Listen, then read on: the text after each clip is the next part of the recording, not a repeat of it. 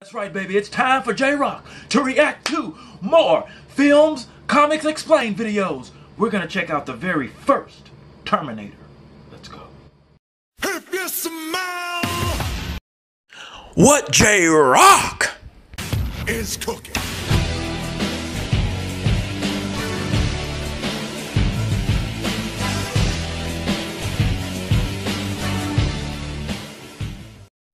Finally, J-Rocc has come back to YouTube. Oh, what is happening in, in, in, in, in, in, in with the millions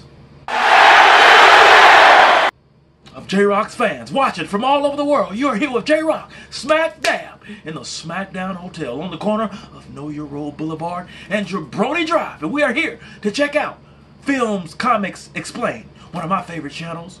And we're going to check out the very first Terminator, the T 800, what it can do, and how it paved the way for, in my opinion, the greatest Terminator movie of all time T2 Judgment Day. Terminator Dark Fate hit movie, movie theaters in a few weeks. So why don't we go back, way back, back into time? Let's check this out.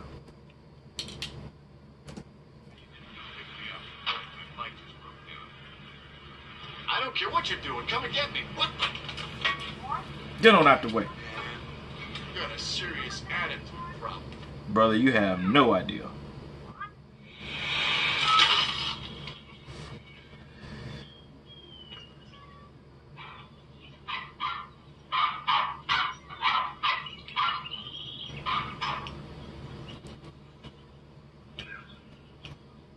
Sarah Connor.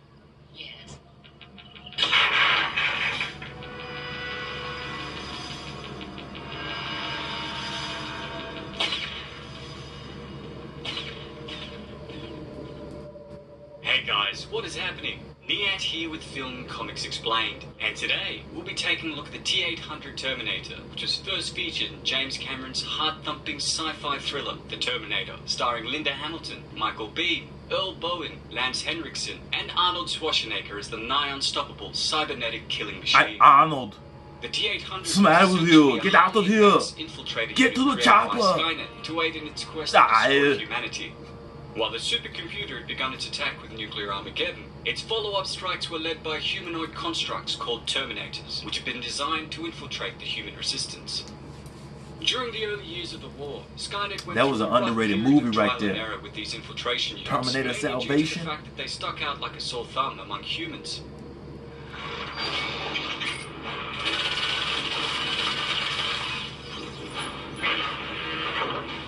Real underrated movie right there, man.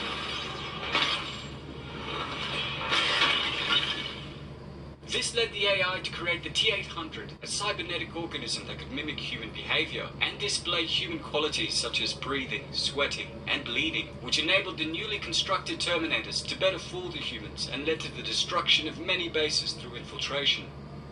Over time, the Resistance was forced to adopt methods to better detect the infiltrators, but even if they were able to spot one, the T-800s were a force to be reckoned with, possessing superior strength, durability, and the ability to learn new ways of destroying its desired targets.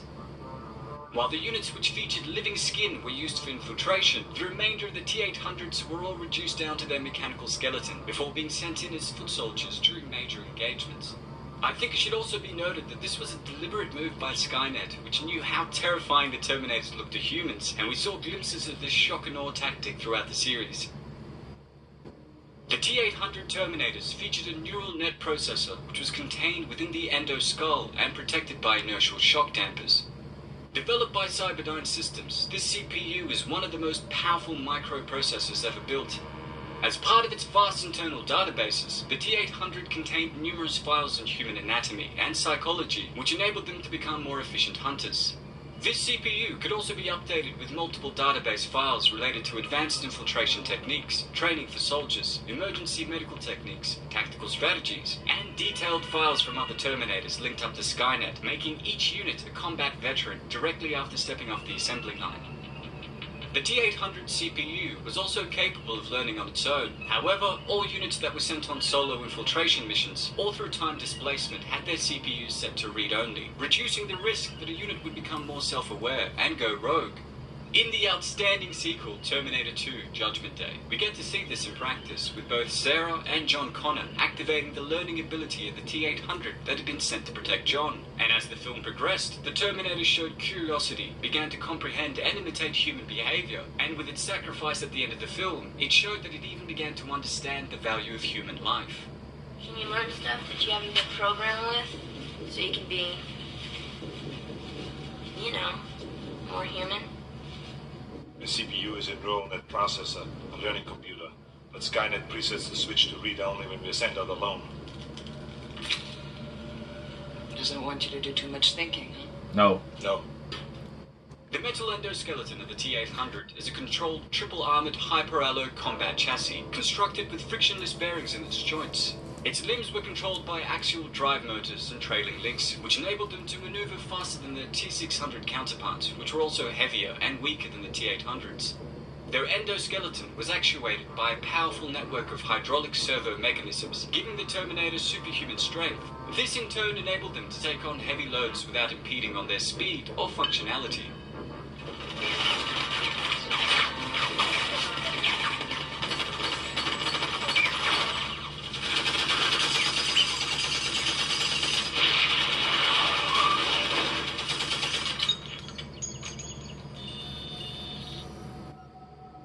As their frame was made of a high density titanium steel alloy, this reinforced structure was easily capable of withstanding conventional firearms, making them difficult to destroy.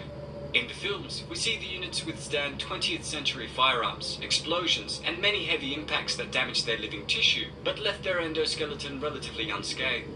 I should also point out that while firearms were relatively useless against the Terminators, they were actually quite vulnerable to plasma weapons, which were used by both the Resistance and Skynet in the future wars. Right. As they were designed to be the most superior infiltrator units to date, Skynet used replicated human tissue which had been extracted from human prisoners and grew this living skin on the endoskeletons of the T 800 models. This was a major game changer from Skynet, which began to blur the lines between man and machine, and we see numerous modifications of this approach as the series progressed, like with the creation of Marcus, who was a human who had his consciousness grafted onto a cybernetic structure. What is it?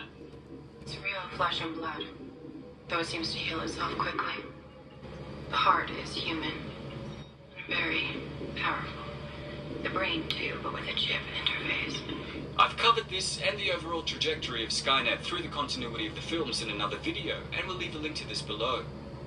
The living tissue covering the T-800s was similar to that of humans, with the ability to sweat and produce odors, and although their flesh did contain blood, it only displayed a minimal amount of bleeding when damaged. Their skin was also able to heal itself over Boom. time at a much faster rate than humans. However, if too much of their flesh had become damaged, their skin would begin to decompose into a waxy, corpse-like texture. Peace. The I'm machines out of here. would use radio receptors and infrared optics to hunt down their programmed targets, and they all possessed an advanced vocal processor that allowed them to mimic people's voices to trick their targets into coming out of hiding. You hurry home, we can sit down and have dinner together. I'm making beef stew. Something's wrong. She's never this nice. What's the dog's name? Max. Hey, Janelle. What's wrong with Wolfie? I can hear him barking. Is he okay? Wolfie's fine, honey. Wolfie's just fine. Tricked him. Didn't On the even know. The T-800s were generally armed with a standard Skynet-issue plasma rifle. Forced In saying that, dead. they were all programmed with the ability to use any weapon to achieve their goal, as was seen with all the T-800 models that were sent back in time, and showed a detailed understanding of not only all human weapon types, but also human anatomy and psychology, as mentioned earlier.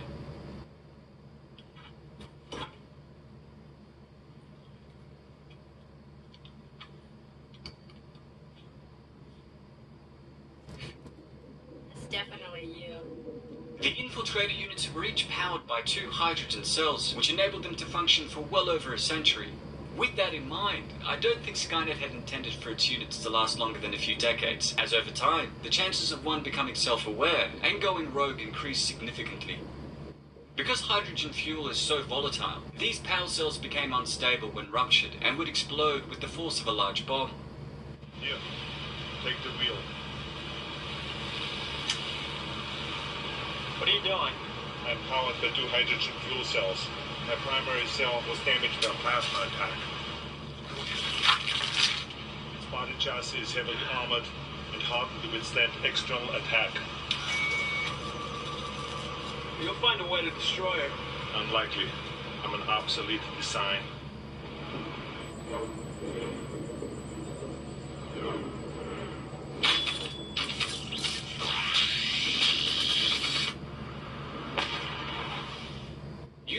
Advanced HUD, the infiltrator units were capable of running system checks and calculating the distance of objects relative to themselves, which made the detailed kinetic studies of trajectory, sampling, and analysis possible within a split second. This was also very useful in assessing human emotional states and body language, and the T-800s would rarely perform a function or move without checking this display to ensure that they determined the best course of action.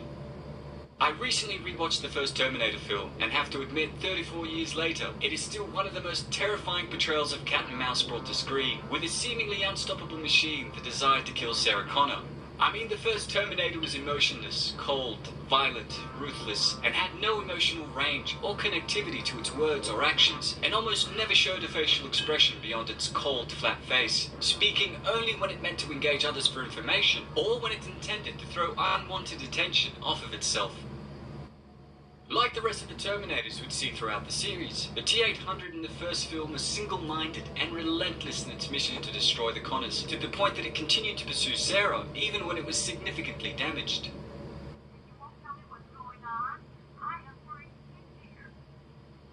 Okay.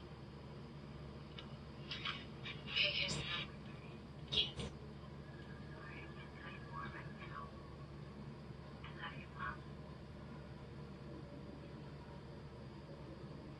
I love you too, sweetheart.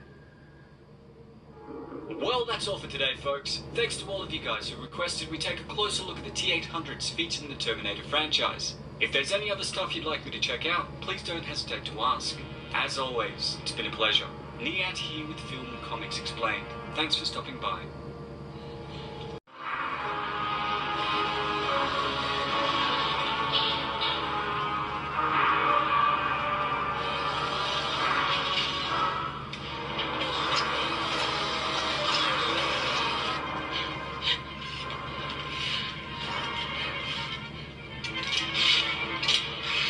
This that was a scary moment for me right there.